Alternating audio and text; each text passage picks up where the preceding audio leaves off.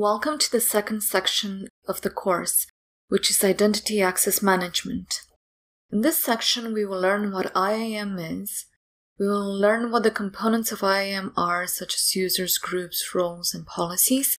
We will do some hands-on tutorials on IAM. We will learn about Active Directory Federation and Web Identity Federation, as well as we will be reiterating the key takeaways and have a small quiz. We will start by introducing video 2.1, which is Introduction to IAM. In this particular video, we will learn what IAM or Identity Access Management is, what the components of IAM are, how to work with IAM hands-on, what Active Directory Federation and Web Identity Federation are, what is IAM and why should I use it? IAM is a web service that is fundamental in embedding security into your AWS account. It allows you to ensure authentication by giving you control over who can access your environment. It allows you to ensure authorization to resources by giving you control over what users can do once they have successfully logged into the account. It is a global service giving you an overview of who can do what in any region of the world. Some benefits of using IAM. With IAM, you have a shared access to your AWS account, a central control of your account, granular API level permissions. For example, if you want to only allow a user to only see a certain object in S3, you can do that. Or you can give them read only permissions to S3.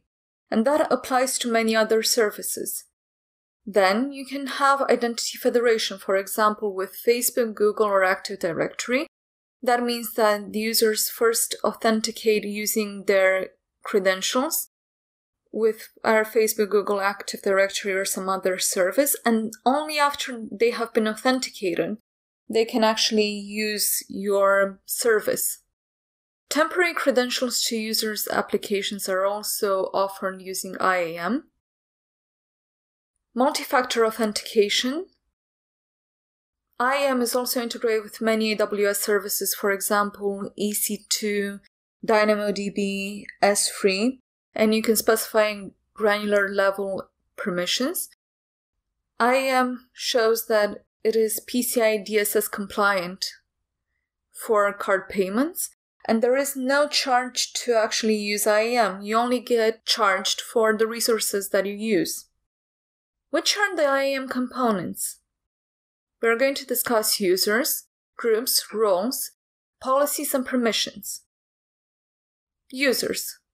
Think of them as people. They have programmatic access, so they can use APIs to control the environment, and also console access credentials. For example, they can log into the console that we're going to show in a few moments. A best practice is to use IAM user credentials instead of root credentials. What that means is you should never use the credentials that you have signed up with, that is the email you have signed up with, in a day-to-day interaction with AWS environment. Instead, you should create IAM users and then log in as these people. You can use pre-existing policy templates to assign permissions. By default, when you create a new user, they have absolutely no permissions to your environment. Groups. You can assign the same permissions to a set of users automatically. For example, once the user is part of the group, they will inherit the permissions associated with the group. An example is uh, creating new tables in DynamoDB. If users of a certain group have uh, the permission to create new tables in DynamoDB.